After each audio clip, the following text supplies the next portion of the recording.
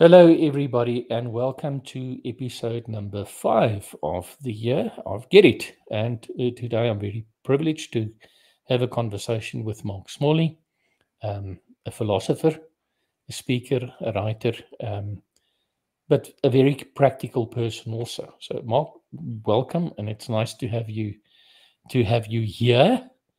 Um, let's change the view so that everybody can see you, and um, yeah, we're talking about product usership. Yeah, thank you, my friend. It's it's not often that smally and practical are combined in one sentence. Philosophy, yes, I like to think about things. no, I mean we've had some conversations that was really practical. Yeah, so um, and that's why I say it. So if if it's not others' experience, it certainly is mine. No, good. Well, good to hear. Good to hear. Okay, yeah. great. So, um, product usership. Yeah, well, self, self, self coined. Yeah, I think so. I think so. I'm I'm not aware of anybody else having coined it, and it was it came from the the popularity of the term product ownership mm-hmm. in the agile domain Scrum in particular, yeah. people talk about product owners as, being the, the, representative of the business, um, having authority, uh, legitimacy as well, and certain skills to give direction to development, specify the requirements, give feedback on it, which is great. You know, it's got got to happen. But my concern was more at the end of the value stream when something's been delivered and is operational. Um, how do you get value out of it? Because somebody, and in, in if in fact, if you if you think if you think about the value stream uh, and take a step back, value streams in IT often start. You know, where do they start? Often with something like requirements. You've got mm. specifications of what you've got to build. Then you you execute a number of steps, and you end up the Scrum community often talks about potentially shippable increments of software, which is their definition of done. We've got a piece of software, an increment that's potentially shippable. We're done. Right, somebody else. So that, but that's, you know, we're not there yet. It's got to be shipped first. It's yeah. got to become operational. And great, we've got mm-hmm. it operational. We're providing service. Service you could talk about two forms of service. Performance i do something for you. I paint your mm-hmm. house for instance performance. But we also talk about affordance. I afford you access to mm. this information system or to my car you know you can use my car or my garden yeah. tools. Um, and that's what we often do with information systems. We give people we afford people access to the systems and that's when the rubber hits the road. That's when the magic happens. That's when actual return on the initial in investment is realized. Because it, it's mm. only when people um, people use the information that they get out of the system um, to take better decisions. You know, that's that's the function of information to allow you to take better informed decisions. But it's only but it's not enough to take a decision. It's only when somebody acts on a decision that's been informed by information that they got out of that wonderful information system that the IT department helped to develop that, that actual return on investment is mm. realized. And that's that area, the actual use, product usership.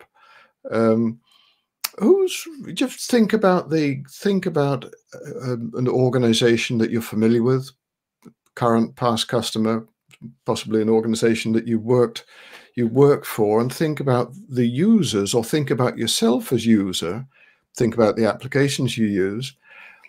Do you understand the well take something trivial word uh, or at least something that something that everybody can can um, can associate to relate to do you understand the? Do you know what functionality Word has to offer? I, only, only the, the, stuff that I use. Yeah, yeah, um, basic stuff. Uh, stuff not not familiar with the functionality. I'm not even sure whether I'm using it well. Uh, if you're talking about an information system that provides information to to you, possibly a HR system or something like that, uh, or financial system, are you interpreting the data correctly? You, you see lots of data fields, and if something says customer, is that a current customer or a past customer? When when somebody a past customer, they haven't bought something for a year. Is it is are, are you a customer when you've just registered on a site but haven't actually bought anything yet? Is that a customer? Yeah. So what are we talking about? So about the functionality, about the data, that, mm. that those so and and and but the the question really is, and whose concern is it? Yeah. Absolutely. Whose responsibility is it to make sure that the users are actually getting the, the desired return on investment? And and so if we talk about the, the this concept that everybody's getting now that value is actually co-created, um, there's so little emphasis on the on the end use of the product or the service and and the related responsibilities accountabilities education um, as you say understanding um, uh, not only functionality but potential um, that it is actually just a vast open field we we just throw things at users and expect them to to do the best with it. Yeah. Yeah. It, it sort of makes me think about uh, um, what was the guy, uh, uh, Ted Levitt. Uh, you know, when he, we talked about you know, holes and uh, holes and drills. Um, and interesting enough is as a result of that conversation, I think it was um, uh, Peter Drucker who first coined um, the the term in in in in a, a sentence where he said that you know we need to actually understand the job that the customer is doing with this product or service that we that we offering them. Um, so let's talk about both sides of the fence: the the provider of the product and the service, and the recipient of the product and the service. How do we make the flow of information and the realization of value better. Yeah, I don't know. Well, let's let's let's. I haven't I haven't got a clip answer to that. Let's um, let's explore that. Um, you mentioned Drucker.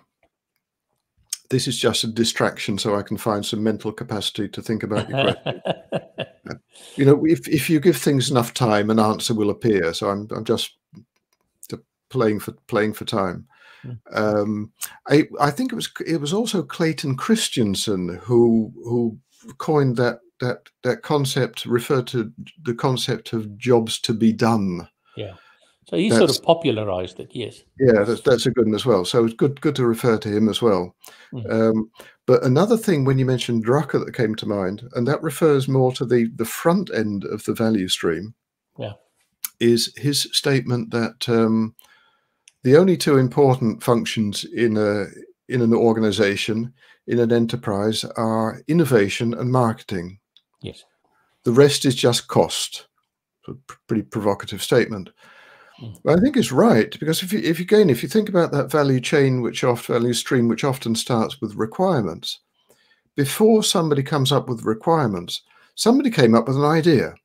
Yes. If we do this, and, and after the idea, a hypothesis, your first of pretty broad brush ballpark hypothesis, if we if we do this, then we'll get these results.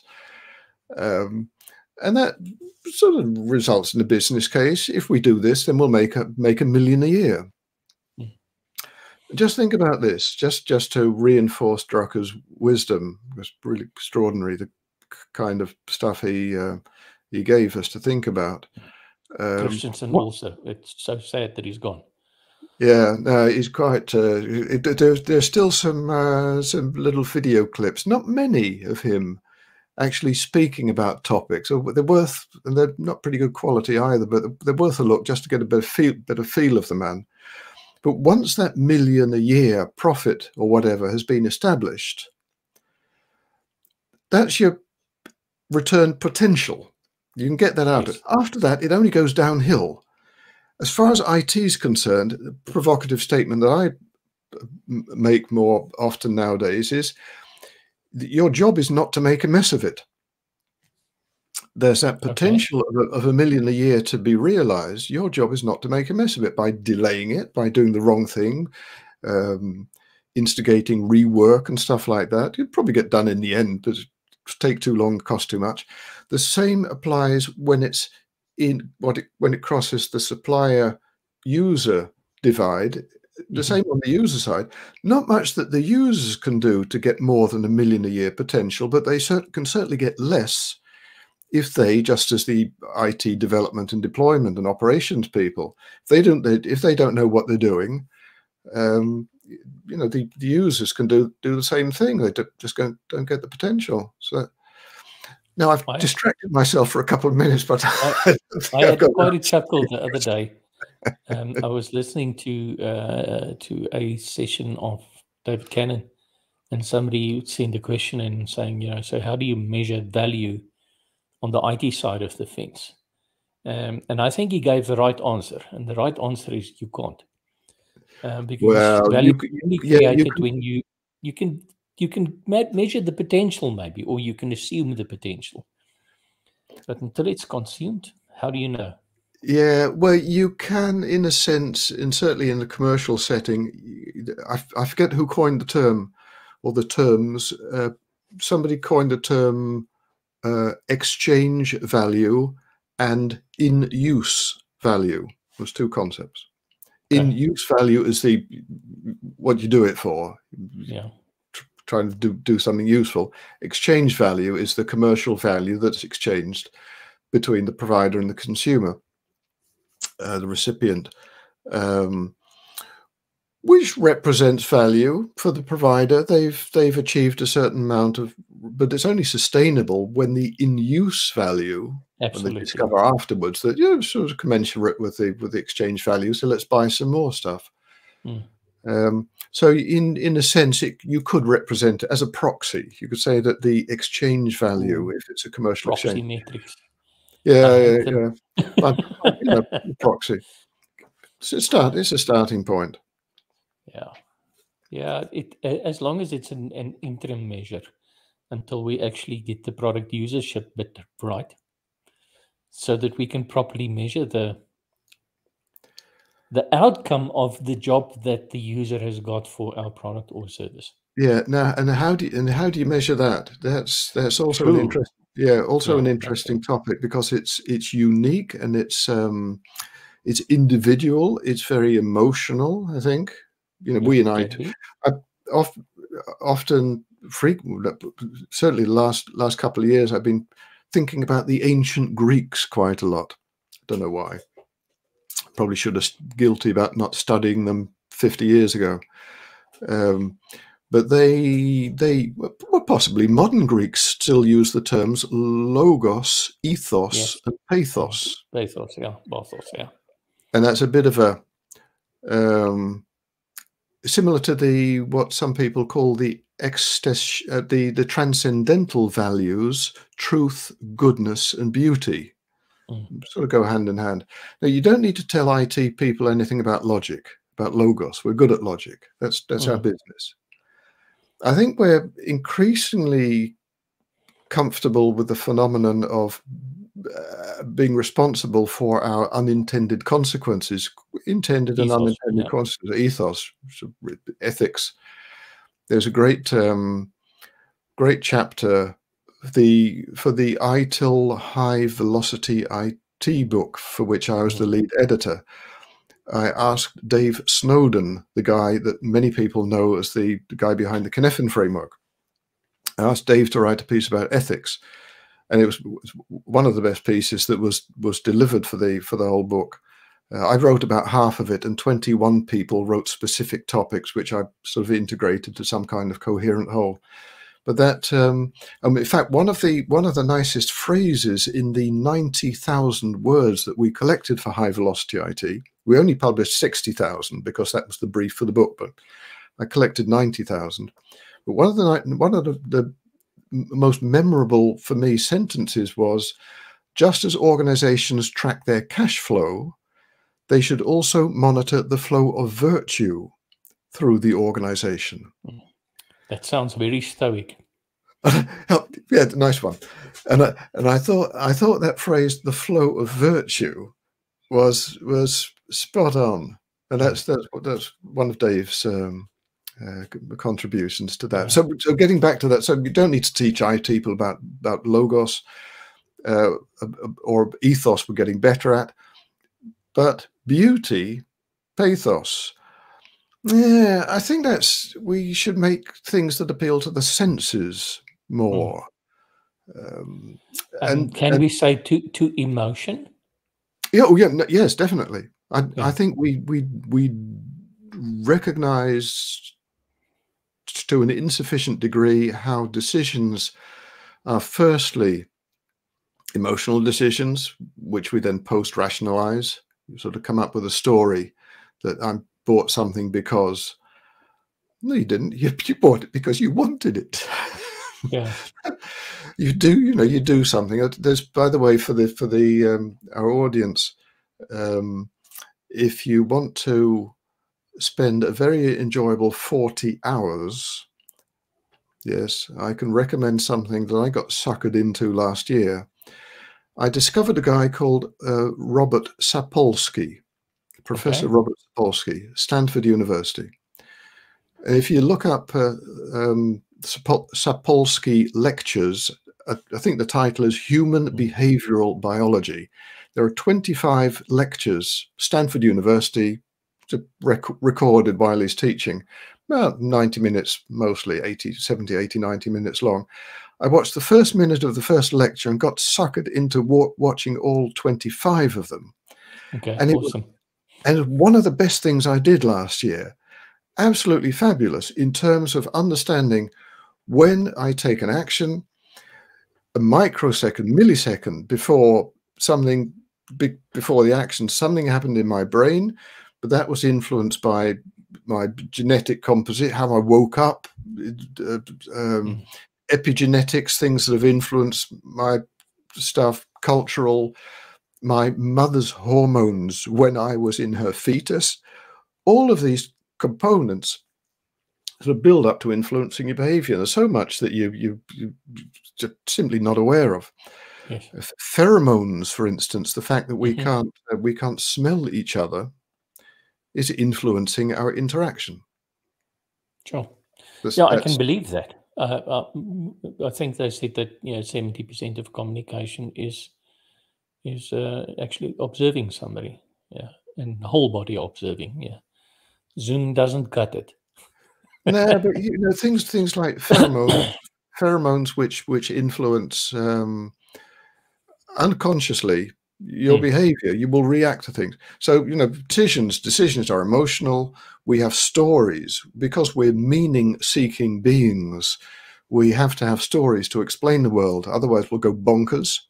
It's mm. a survival mechanism. We have to give meaning to a tree, although a, there's no intrinsic meaning to anything. At least that's my opinion. Yet we have to give meaning to things, otherwise it drives us mad. So we post-rationalize our emotional decisions.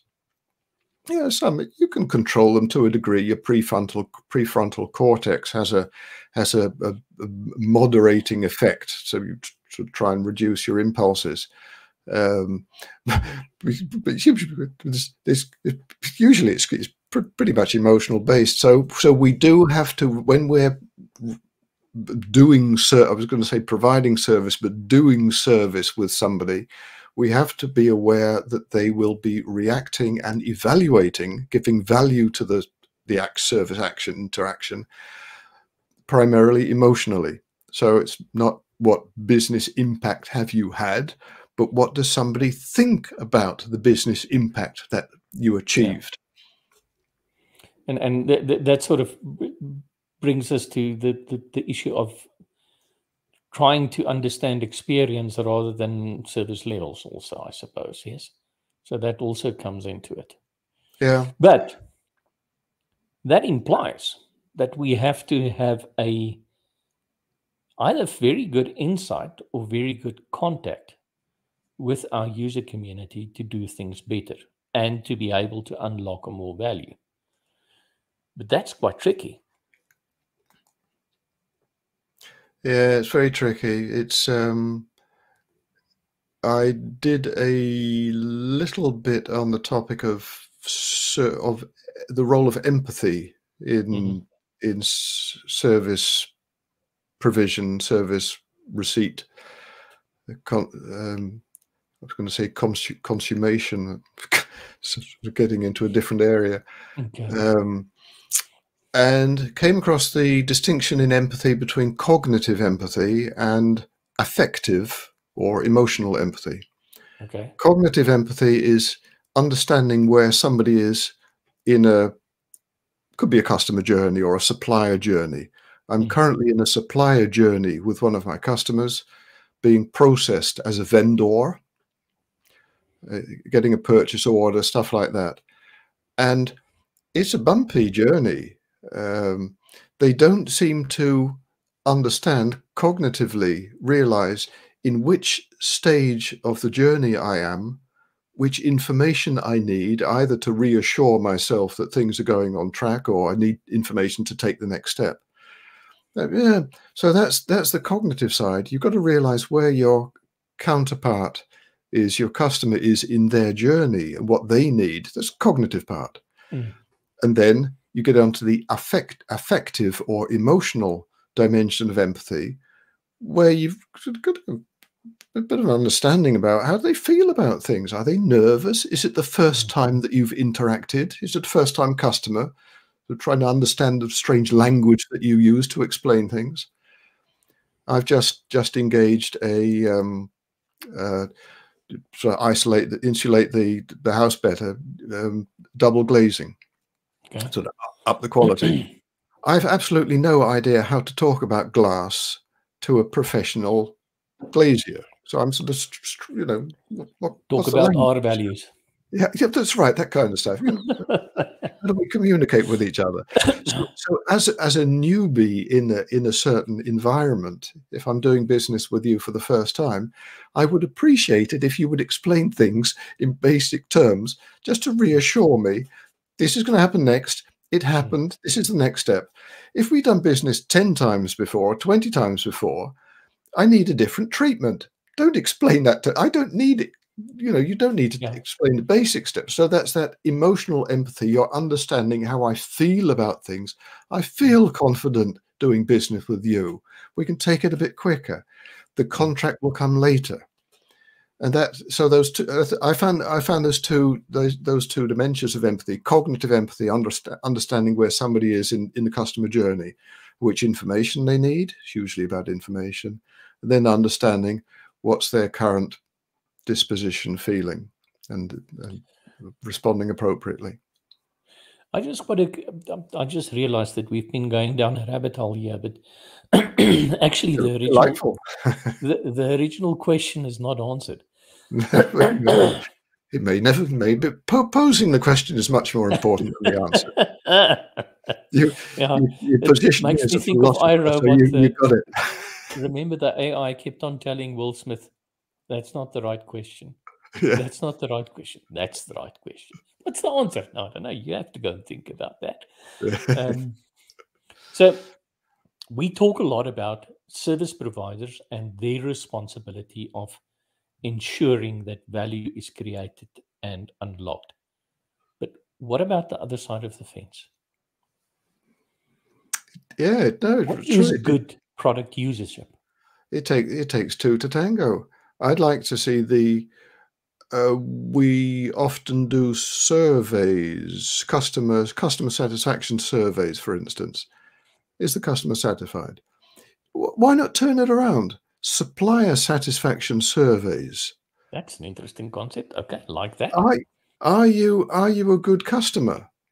Of course, there's you know you've got embedded in the word subservient there's there is the relationship is interesting topic this the relationship between a, a customer and a supplier is asymmetric mm. in the sense that where it's sort of i think in relationships you've got two things one is trust the other thing is power mm. realizing who's got the most power if you if you're dealing with um, uh, another rabbit hole if you're dealing with a cloud service provider uh, certainly the large ones dictate their terms and conditions. you know either do business with AWS or you don't. You, you don't negotiate with them about the SLAs. And I, I joke with my ITIL colleagues or IT service management colleagues that we should have a practice service dictator management. How to cope? don't laugh. How to cope with with with these this category of providers who you have alongside providers who are more flexible and you know willing to accommodate your your needs. So it, it sketches the the heterogeneity of mm-hmm. the partner and supplier landscape, and certainly the, the cloud service providers. Um, well, let's get back out of out of the rabbit hole. That was because where where were we? So, uh, doing a survey of, that's right. Yeah, yeah, good user right. or good customer. As a, as a, yeah, am I am I a good am I a good customer? I think you know, and be, but because the relation. Sorry, I'm back on track. Because the relationship is asymmetrical, the customer is is uh, is the more powerful, with the one who has to be deferred to. Yeah. Um, who has the dare, money? We don't dare to ask it, but we should. And I think in if you're if you've got a long term relationship with with a um, between a provider and a consumer customer, then you should you should dare to ask that kind of question. When I used to um, provide service to as an application management service provider, commercial services to a customer. One of our long-standing customers, we had the habit in the develop the habit in the the yearly appraisal of the service that we done, sort of evaluating how did it go. I had the question to the always to, to the customer, and what did you learn from it? How did our interaction help you to improve how we interact from mm. your side. It's sort of, and I had a great, a wonderful colleague in the team who had the habit, and certainly when things were going pear shaped in the relationship, and and and where we were sort of being blamed for for stuff, he would say, "Dear customer, what would you like to do with your system? What what would you like us to do with your system?" emphasizing it's not our system we're maintaining it for you we're doing our best to keep it in in good working state but it's your system and just using that phrase your system was hmm. such a refined way of helping the customer realize oh yes it is my system. I do have these responsibilities. I possibly don't want to hear it. Yes. But it's i um, want to make it somebody else's problem but yeah yeah. practically i can't. No, you're sort of being being confronted with. Uh, yeah, so, that, so that, here's an interesting que- uh, um, thought. Um, um, most of the agile methods, and I know certainly the, the stuff that I'm involved with, uh, promotes the idea that product owners should be fairly senior people on the business side of the fence. Um, what can product owners do to better engage with their user community yeah. to maybe realize their responsibility or what they're accountable for? Yeah yeah no i get that uh, firstly uh, product owners um, good product owners few and far between it's difficult to find people with the with the authority the legitimacy the skills that you need to do this job some people are just parachuted in. You know, you're the product owner. Go and talk to those, and you could. I, it might be taken a bit far, but it's it's a nice provocative statement. I think the, the business was suckered into the role. It was you could you could come up with a case that IT said, you know, we're fed up with with trying to um, uh, reconcile these these diverse uh, requirements. You know, he wants this and she wants that, and it's not our problem; it's their problem. So we said to the business, "Business, you've got to appoint a product owner to sort this out for us." Then we could sit back and just wait for them to sort it out. Yeah, but I don't think that's just, that's true. But it's it's it's the the law of conservation of spaghetti you haven't reduced the complexity you've just shifted it to another another place so now these poor product owners are struggling with that same problem that we were struggling with in the past. It's difficult. Mm. And if you, but, but back to your question, if the, then it's the scope. When is the product owner finished? Do they? And it's also it's about. Are you going back to the, the Stoics? Um, Epictetus, old mm. ancient Greek, the circle of control and influence and concern that Stephen Covey made popular. It goes yeah. you know way back. You know, what can you control? Yeah, you as as the IT department, as the provider, you can't you can't control what your customer does. Uh, you should certainly be concerned about it, whether they're getting the in-use value that hmm. justifies mm. your exchange value, at least if it's a commercial relationship. Um, but what's yeah, what's your influence?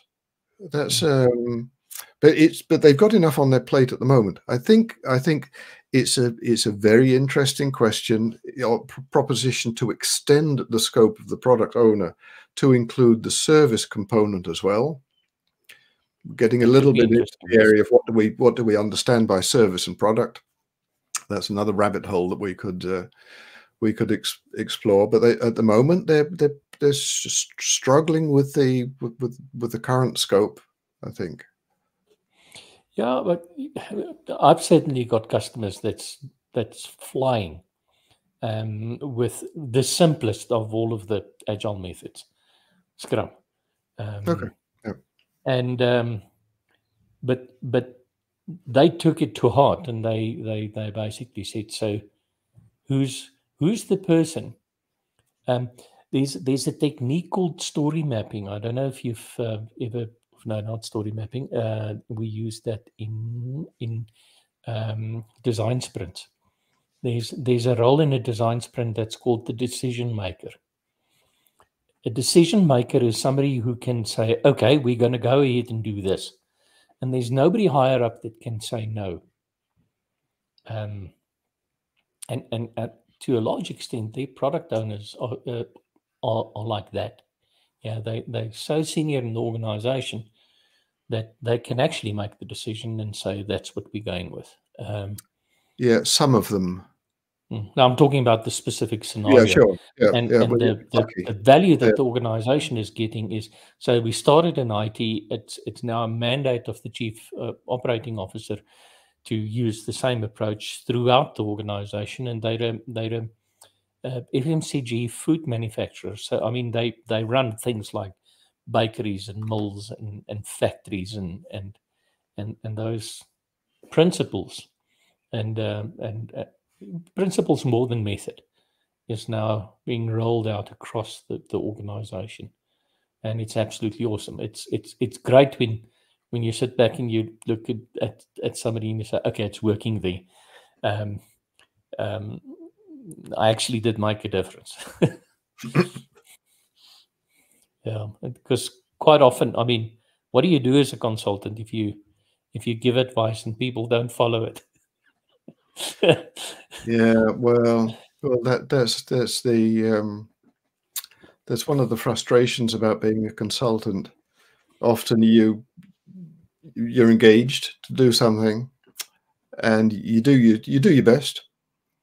You do your honest best, uh, but often you you are not again in the in the you don't have the opportunity to to discover what they've actually done with it so, so you don't really mm. know and and quite often um, people do other things yeah which, no, sure. might, which could be fine and, and in fact your your bad my bad idea might have triggered a better idea that they come up with you know so in a sense you've had a you fulfilled a fulfilled a function it's um, tough, I tough see line. The western sun is creeping in. As you move back, it hits your ear. Yeah, that's right. Yeah. no, don't bother about it. I'm just smiling because we spoke, spoke yeah, about no, it a little bit earlier. Um, yeah, it's just a chink, a chink in the in the curtains to the to the west. A lovely day, by the way, here in, uh, just uh, uh, about ten kilometers south of Amsterdam. Yeah. So you're in Nieuwekerk, or where are you? Oudekerk. Oudekerk. Oudekerk and yeah. the Amstel, the Amstel River. from which the the city name Amsterdam was derived. Yes. Am- Amstel Dam. I think it, that's so it got changed over over the years. Um, so you, you, so is there any parallel in the in the th- the three three crosses uh, and what we're talking about? Yeah, the things that we need to say, not that.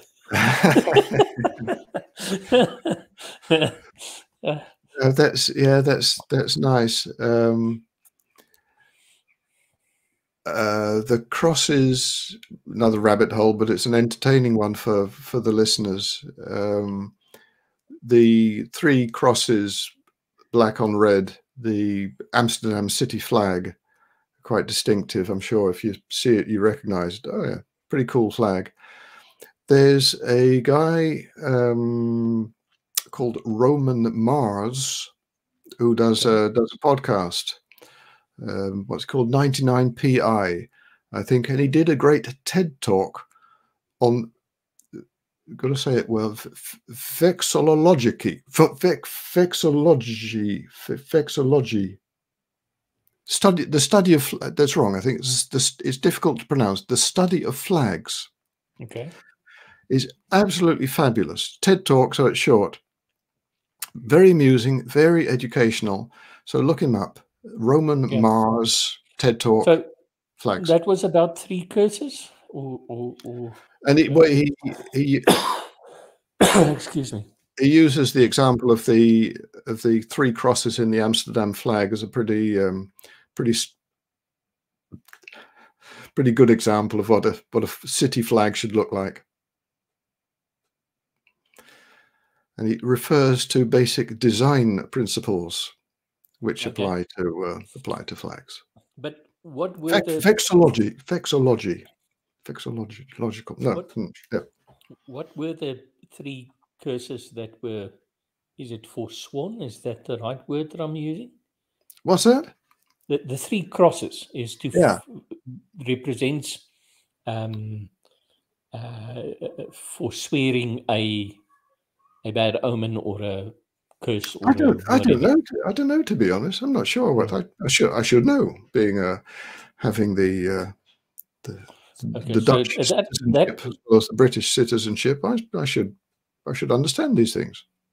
Um, so go and look it up. Um, I know yeah, that that's the reason for the process. Yeah. yeah.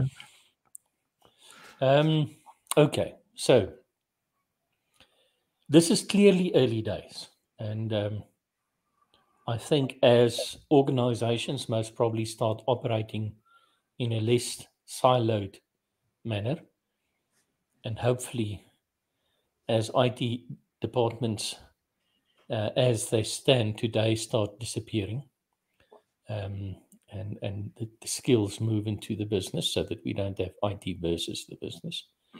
Um, that that could be a very interesting uh, area to explore further. Now, I, I always say to my kids, never take accountability for something that you do not have the authority to make happen. Um, because that's, that's just setting yourself up for, uh, for, for, for failure. You're a sucker for punishment. And that's what IT does quite a lot. Yeah. We, we did, we've got very little control over what our customers do with the products and services that we that we offer them. Yeah, true. Yeah, it's true. Yeah, yeah. There used to be, you know, in the good old days, there used to be. Um, uh, IT was uh, was sacred, was magical, was put on a pedestal. But then, of course, it uh, it fell from its pedestal, and um, and assumed, we lied. That's why. Yeah. Well. Yeah. Oh. Yeah. Yeah. Well. Yeah. It, well, it's it's going going back to um, what I mentioned about once the initial value of an initiative has been determined, it only goes downhill from there potentially. Yeah. Guy, guy, famous Dutch computer scientist Dijkstra, E.W. Dijkstra, uh, legendary quotes. One of his quotes was, "Computers' core challenge challenge is how not to make a mess of it." Okay. And he referred to the the the role of the humble programmer, who is aware of his or her ignorance. Uh, you know, the older we get, certainly for me, the more I realize how little I know. Um, referred to by a very fancy term, epistemic humility, Okay. which I like, which I like to bandy around at parties. It impresses people immensely. As does the thought experiment, which I'm going to apply to you, um, about becoming a vampire. I don't know whether you've you come across this before. The thought experiment about becoming. No, no, I haven't. Well, it, not many people know this, but in, in fact, I'm a vampire. It's Okay. not uh, you don't see it on the outside, but I've uh, I've got some uh, got some odd habits, uh, and an aversion to garlic and um, and certain things. But it's great. It's really Johan. It's really great being a. You should become a vampire. You know, you hear stories about blood, but it's yeah, it's it's not. It's, there are so many benefits to becoming a vampire. Now, the thought experiment is: can you take find enough information to take a decision, well informed decision, to whether you're going to become a vampire or not. Okay. Um, okay, and and uh, you use information or data? Um, Whatever you like. Can you take a decision? Can you take a, a rational decision with enough certainty? um, no, make- you'll most probably do an emotional decision. Yeah. Well, the, the, the thought experiment is, and it's a, a lady, Laurie Paul. Uh, she goes as a writer as L.A. Paul. Mhm. Um, she says, you, you don't, you won't, you won't know until you've done it. Until you've experienced becoming a vampire, being a vampire, you have no Yeah. idea, you, you have no way of, of knowing whether what it's like to become a vampire. So in a sense, it's a leap of faith Yeah. which means that not we got on we're talking about ep, humble programmer epistemic humility it brought me to the realization that knowledge is not only limited i have don't have much knowledge about stuff but it's also limiting if you base your decisions on and i thought it's quite a nice nice way of putting it limited and limiting it it limits your decisions if your decisions are post rationally based on information, you can't possibly take such a. You have to take a leap of faith, which means you have to trust your gut feelings more, believe, and probably things that we tend to ignore because we're rational, so called rational people, or we tell ourselves stories that we're rational. Uh, we, you know, we we've got to come up with a rational story before we do something. But, but I think we should we should trust our feelings more and again, referring to the ancient Greeks, the Greeks had two words for for time. One is Yeah. chronos, which Okay. we're all familiar with, chronology, sequential time. But they had another had another word uh, for time, kairos. And kairos refers to sensing when the time is right to do something. I thought this, Okay. I like that. yeah, that's pretty cool. Yeah. Um, so trusting your gut feelings a bit more, and and again, it's getting a bit back to the theme of service and the emotional, individual evaluation, subjective evaluation of of service.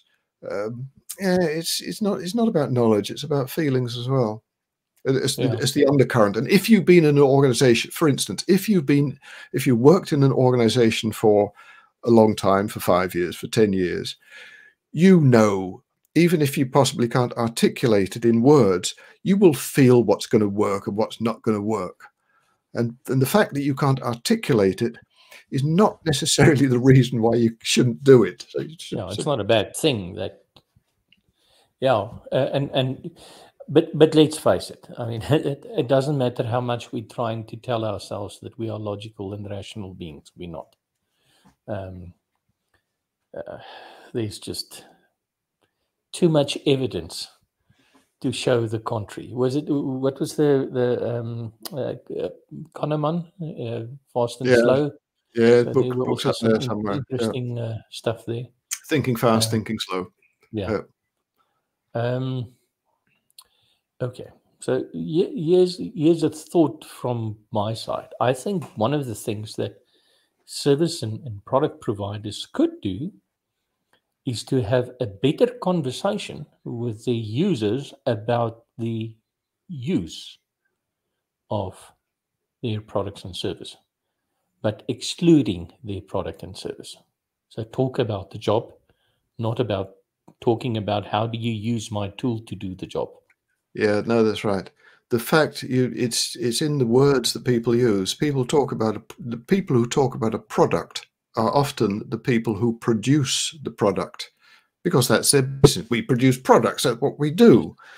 The user isn't interested in a product. Use interested in, in a in a resource, in a tool.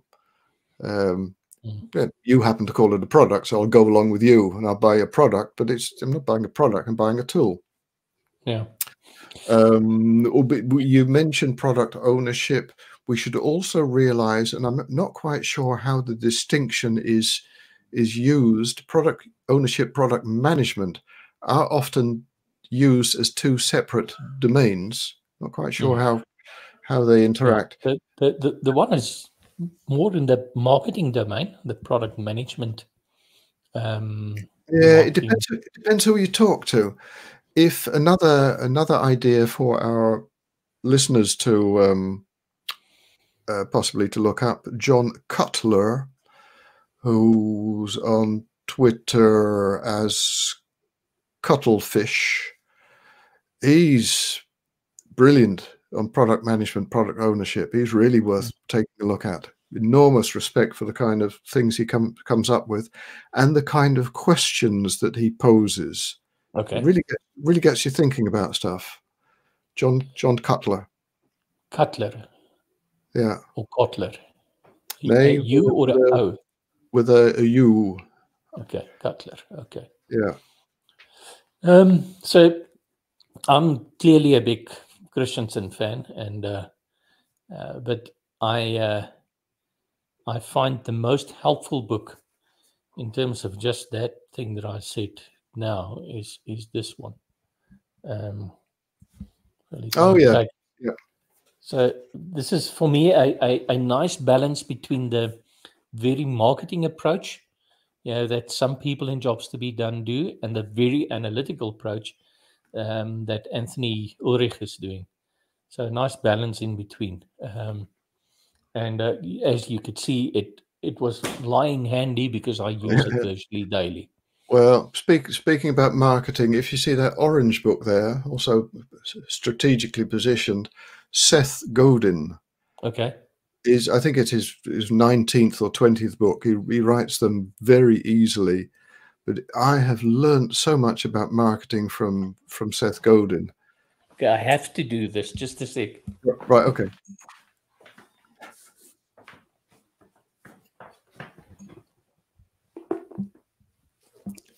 Do you mean this one? the, the very the very one. Did it just arrive by DHL? yeah. Uh, it's yeah. it's such a fabulous fabulous book. It's really is worth. It, it doesn't I think doesn't cost much more than ten or fifteen dollars. Yeah, worth every cent. Basic yeah. questions. Basic questions like uh, which we should be thinking about as well when we we promote our stuff. Who's it for and what's it for? Yes. Those simple questions. Who's it for? Those are difficult questions to answer. Yeah, but this is the cool thing about jobs to be done is you identify who are the actors, the, the role players, and then you have a conversation with them about what they're doing. And and and you know, by by going through that process of actually mapping these jobs to be done, you've got a much better understanding who's it for and what's it for. Yeah. Yeah. Yeah. And uh, and the contribution contribution that your your service will make.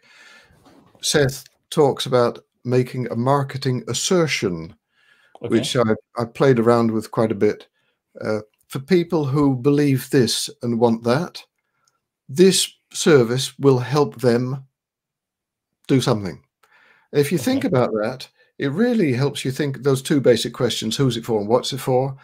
it, it helps you formulate your your bold offer, which is often scary. It says, you know, here I I made this. It's for you.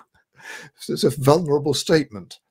You know, for, I've written a couple of books, and with each with each book, it's a you're writing it for for an ideal reader. You have an ideal reader in mind to try and formulate what what kind of uh, knowledge, beliefs, uh, desires, and feelings do people have before they've read the book. What kind of knowledge, what kind of change in knowledge, um, beliefs, abilities, and feelings would you like to impart after they read the book? So you've got hmm. this ideal reader. So you you write your book, then you offer it to people. Here, I wrote this. But most of the people in the world aren't interested. It's not for them. He likes to talk about the, the concept of the minim, minimum viable audience. Yeah. That really, that little, the people that, who you are serving the best. If you serve them the best, they'll spread the word, they'll do the marketing, marketing for you. But it's scary choosing a small audience because you can't hide behind mediocrity and say, you know, it's yeah. for everybody. It's not for everybody. Yes. You've got to be bold. But nothing is for everybody. Do you know what this makes me think of? Is one of the other Peter Drucker quotes. I'm also a big Peter Drucker quote uh, fan, as you as you can pick up. Um, he said that uh, uh, our customers rarely buy our products for the reason that we, yeah, think yeah, they yeah. do. Yeah. Yeah. Um, and yeah, uh, yeah, I've had a similar experience lately. You know, so the latest book was written for a very specific target. Um, but they're not really that interested in it. There's other people who like it though. yeah.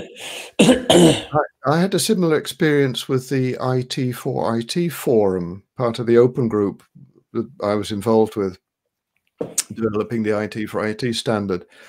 Uh, initially conceived as a way of uh, in, improving the interoperability of tooling within the IT domain so that the various tools from various vendors communicated better, exchanged data better mm. with each other.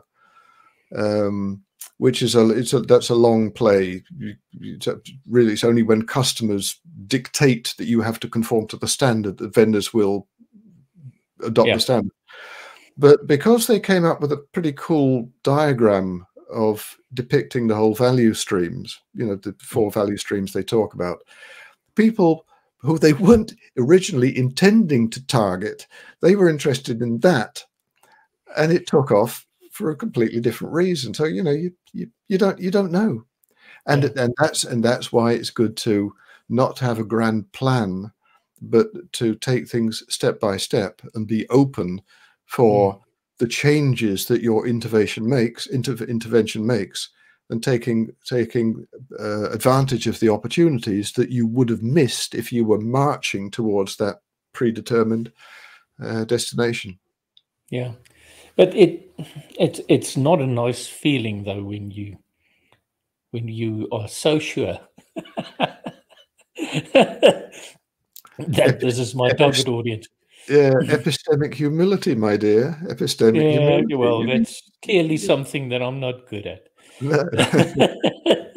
so um, I, I, I, I love, yeah, and I think the first time that we met, I actually talked about Marcus Aurelius, and that reminded you that your dad gave the book to you when you were a youngster.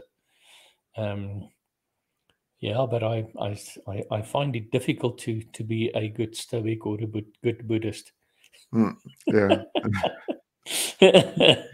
you got to work at these things. These things don't come for free. I do, however, find is it gets easier as you get older. Um, ego is much less of, a, of an issue. Mm. If you if you actually realize that it it you never mattered, uh, and uh, other people's opinion about you really doesn't matter.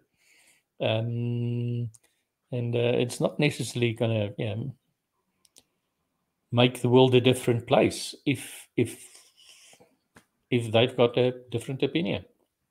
Just yeah, what it is. I came across it must be maybe 10 to 15 years ago now a, a short interview with the Dalai Lama that uh, that stuck with me still sort of influenced. It's sort of a religion, religion in a sense, guiding principles. There's an Australian interviewer who asked him, you know, you sort of stick a microphone in front of the Dalai Lama. What question do you ask him? What is the meaning of life? It's the only question that's worth. Uh, so what's he, he comes up with um, meaning of life, happiness and usefulness is yeah, the meaning of life. That. Surely our life is not for suffering, not for trouble. And those two words, happiness and usefulness. And what works for me, just the way my DNA works, if I'm useful, if I've got the illusion that I've helped somebody, I feel happy about it. Mm. So through the vehicle of being useful, serving, that's if you focus on those two things, being happy, being useful, it takes you, you get quite decent mileage out of that.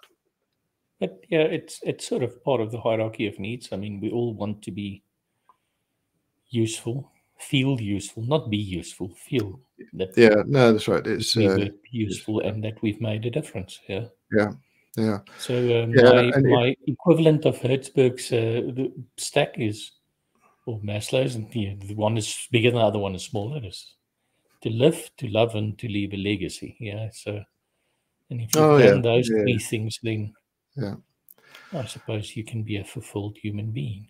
Um, not only to be it's this is adam smith um, not only to be loved but to be to be lovely by which he means deserving love. Okay.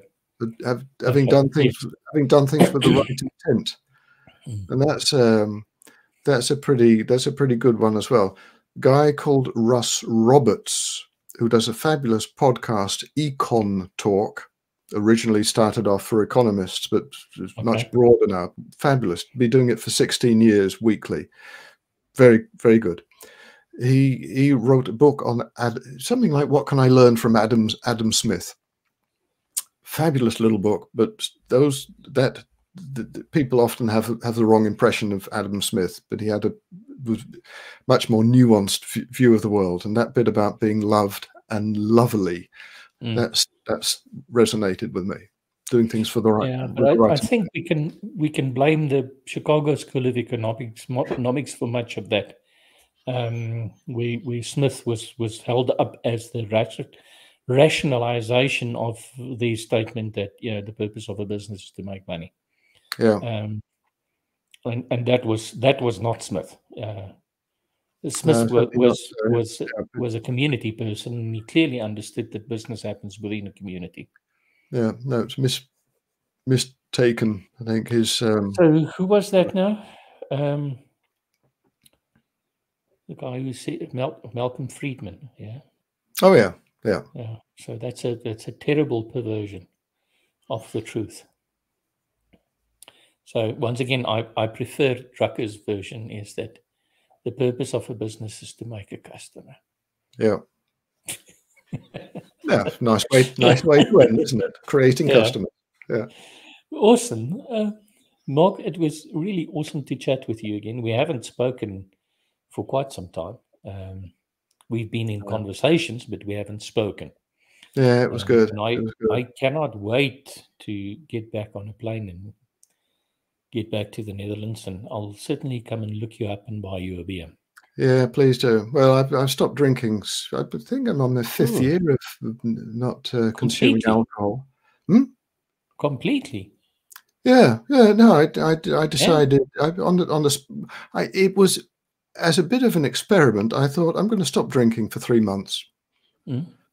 Um, and then it became six months, and then it became addicted. And and I I feel feel better, but I would say that, wouldn't I? Yeah. Um, the the major benefit is it makes you feel so smug about things, not drinking. No, no, that's a benefit though. Um, but, it, but it's it, it's pretty much the same as my my my smoking. Um, yeah, I stopped smoking twenty fifth of May two thousand and nine, and in the in the beginning I didn't stop smoking. I just I I I said for the next month I'm not gonna, and for the next month I'm not gonna. Yeah, and uh, I can genuinely say that I do feel better, although I put up put on weight because um, you have to stick things into your mouth if you've got the habit. Yes. Yeah, yeah. Well, that's that's a benefit of alcohol. If you stop drinking alcohol, you lose weight. You lose weight. Yeah, absolutely. Yeah. that that was that was in fact the trigger. It was just after Christmas, and I just passed the seventy kilogram measure, which for me that's a bit much. So I thought, um, not having anything of this, I'll stop drinking for three months, see what happens anyway, I'm down to about 63, 64 now, and that's pretty pretty constant. I, I feel mm. good with it, so I'm, so I'm, sticking with it. And it was surprisingly easy, which okay. I believe is less so with with tobacco. Yes. Now that was hard. Um, I, I stopped quite a few times, and it really, you know, the only way to stop smoking is to stop smoking. Yeah, yeah. Like, yeah. yeah. Um, Stephen Covey also said the only way to trust somebody is to trust them. Mm. oh, that this was absolutely awesome. We're spot on on the hour. Um, yeah. So thank you very much, and uh, I hope I can I can uh, push on your button next year to have a similar conversation. Yeah. Because I can't believe the response. Uh, my year is completely full. Absolutely yeah, no, good, awesome. Good, good um, for you. Yeah, I given the current circumstances, I would like to apologize to our Ukrainian friends uh, for suspending reality for an hour. Yeah. And um, pretending that this was important. Yeah, it is. Um, it's heartbreaking. Um, I don't know what's happening now. I'm trying to put the slides back. Um, and we're with you in our thoughts. I just wish we could do more. Um, and certainly speaking up um, is an important thing that we can do. So, on that sober note, I'm going to end the broadcast. Thank you for listening.